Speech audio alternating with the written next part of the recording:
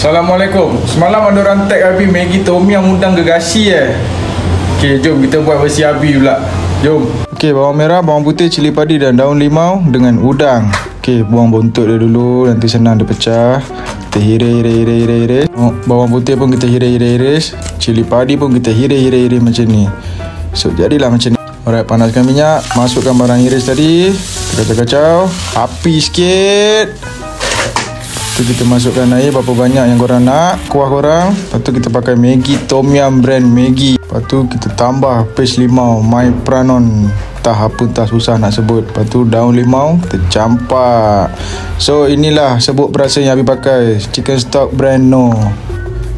Kacau kacau kacau. Kita masukkan udang pula Tiga ekor ni. Kita biar dia masak. So untuk telur kita pula Kita buat egg benedict. Kita panaskan air Masukkan cuka Supaya dia tak melekat Lepas tu kita pusing pusing pusing pusing pusing pusing pusing masukkan telur.